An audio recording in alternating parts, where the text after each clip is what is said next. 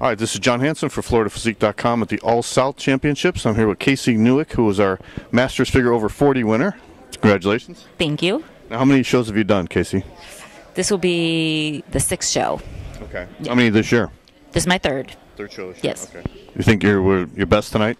Probably yes. Yeah? Yeah. Okay. Yeah. Now you're going to do the Nationals next week?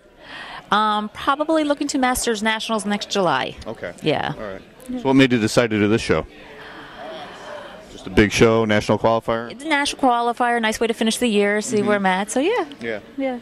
Why do you think you were at your best uh, tonight compared to the other shows? Just came in better, better stronger, leaner, better. Yeah. So yeah. When were the other shows? Were they earlier in the year? No, I did one about five weeks ago, and Oh, one about- one about five weeks prior to that. So Okay. yeah, Wow. So last 15 weeks. it's yeah, it's been a, it's been a push. So Right, yeah. So it's just the dieting and just got you better, huh? yes, Okay. yes. And All I- right. Well, we wish you the best of luck next year at the Masters Nationals. I think you got a great shot. Thank you. All right.